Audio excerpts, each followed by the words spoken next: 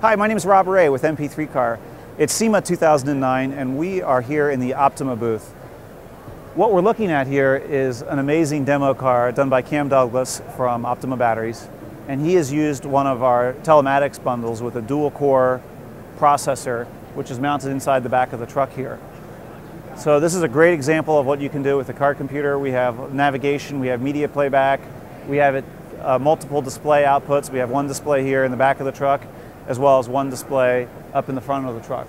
So great internet connected vehicle. And uh, the other thing that's kind of cool here is there's a custom keyboard, which I've never seen made before, that's completely ruggedized, really interesting keys and kind of matches the rugged look and feel of the truck. So uh, thanks a lot to Optima Batteries and Cam for integrating some of our product in their vehicle.